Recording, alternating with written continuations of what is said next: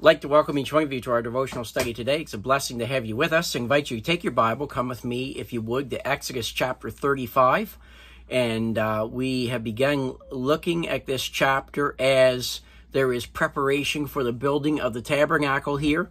And um, Moses is presenting the need to the children of Israel that they have for various things for building the tabernacle. And as we look at this, we see the theme of it all is the importance of making God first. And we've seen in verses 1 through 3 how they were to make God first in the Sabbath day. And then we took some time yesterday to look at how that as New Testament believers that God is giving us the first day of the week, Sunday, as the Lord's day to worship him and to gather together as a body of believers. Now, every day is the Lord's day, and every day we should be involved in worshiping him and we need to spend time in His presence.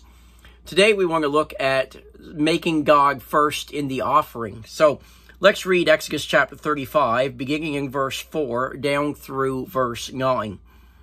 It says, And Moses spake unto all the congregation of the children of Israel, saying, This is the thing which the Lord commanded, saying, Take ye from among you an offering unto the Lord Whosoever is of a willing heart, let him bring it an offering of the Lord, gold and silver and brass and blue and purple and scarlet and fine linen and goat's hair and ram's hair dyed red and badger skins and shittim wood and oil for the light and spices for anointing oil and for the sweet incense and onyx stones and stones to be set for the ephod and for the breastplate.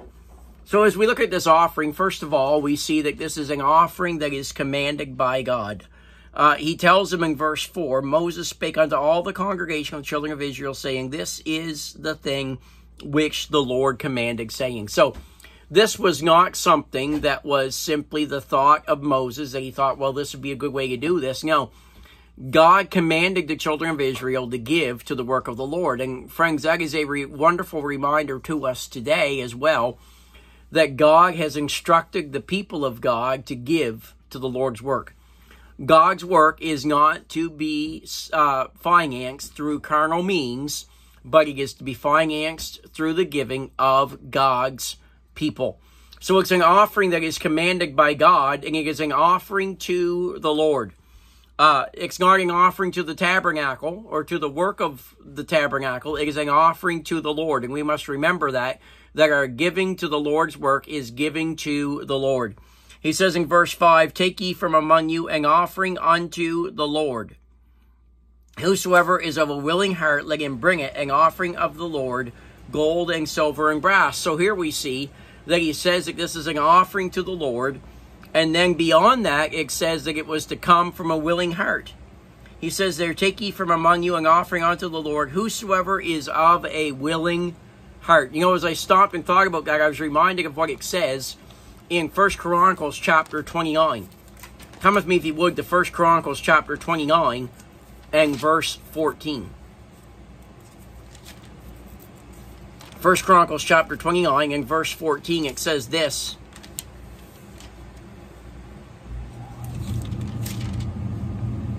It says, But who am I, and what is my people, that we should be able to sacrifice so willingly after this sort? For all things come of thee, and of thine own have we have we given thee. So there we see that, that they not only offered willingly, as it says many times in in uh, First Chronicles 29. It's actually interesting to to go through that chapter and see how many times God told them that they offered willingly. But then beyond that, he says, For all things come of thee, and of thine own have we given thee. So it's a reminder that really everything that we have has come from God. God has been truly good to us and it's only reasonable that we would offer to him willingly. Then let's just take a little bit of time to look at the content of this offering, and we won't look at it in great detail because we've seen much of this, but I do want to mention it. Gold is mentioned in verse 5, and gold is a speaks of Christ's deity. It reminds us of the fact that the Lord Jesus Christ is God. Keep in mind that everything uh, in the tabernacle points us toward the person of the Lord Jesus Christ. Then there's silver. Silver is a type of redemption. It's a reminder to us of redemption. You see that here. We saw it in Exodus chapter 30 and verse 16. And you see again in Exodus 38 verse 27. And as we look at 1 Peter 1.18, it reminds us that we are not redeemed with corruptible things as silver and gold, but with the precious blood of Christ as of a lamb without blemish and without spot.